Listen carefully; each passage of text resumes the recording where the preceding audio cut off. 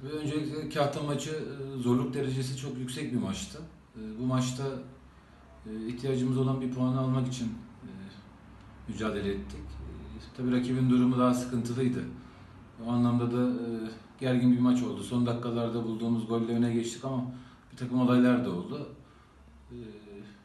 Son saniyede bir gol yedik. Bu sene bu, şey- bu tarz goller çok yedik. Çok puan kaybettik. Kazandığımız bir puan bizim için çok değerliydi. Matematiksel olarak ligde kalmayı e, garantiledik bu golle. E, Bizim için kazançlı bir e, hafta oldu diyebiliriz bu anlamda. Tabii e, ligin bitmesine iki maç kaldı. Bu hafta Nevşehir Belediyespor gelecek. Son haftada Elazığ maçı var.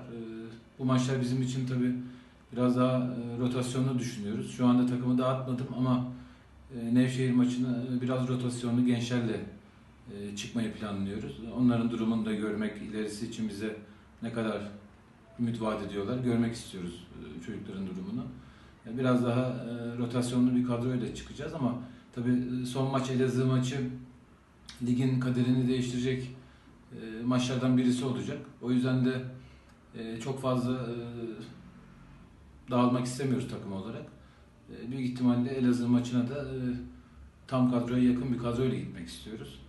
O anlamda da bakalım son iki maçı inşallah e, iyi bir şekilde geçirip, kazası belası bir şekilde geçirip e, ligi tamamlamak istiyoruz.